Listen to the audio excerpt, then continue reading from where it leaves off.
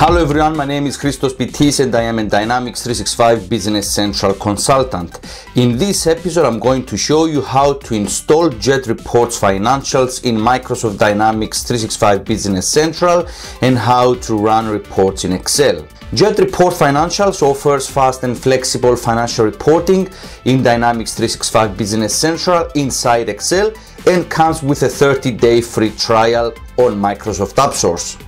Visit Microsoft AppSource at appsource.microsoft.com and search for Jet Reports Financials.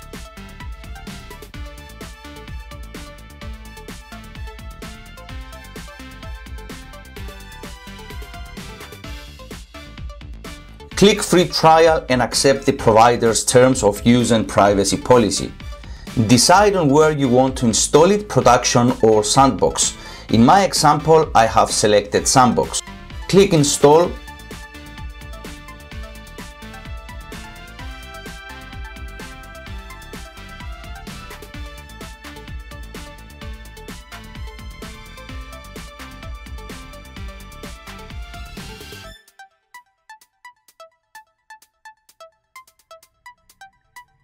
Check the extensions management page to make sure the extension is installed.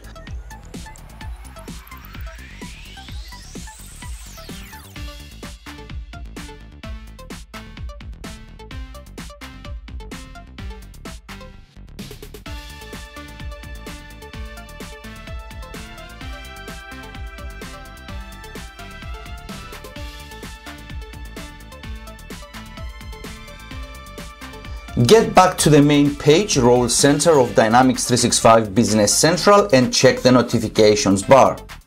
In the notifications bar, you will find the notification about Jet Reports Financials. Jet Reports Financials is now available. Click here to get started. Click the click here to get started link and you will be redirected to the installs website of Jet Reports. The Jet Reports Financials executable file will be downloaded on your machine Click on it and run the setup wizard.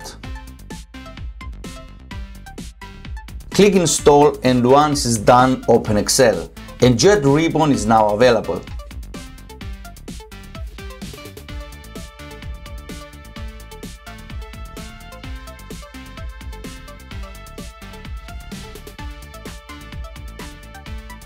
Click Fast Financials